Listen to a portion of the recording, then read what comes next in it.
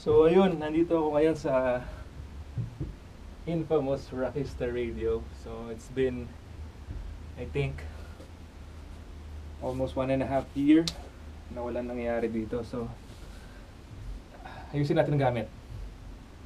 Hopefully, mag-resume ulit. so, yeah. Ayusin ko muna yung mga cable and everything.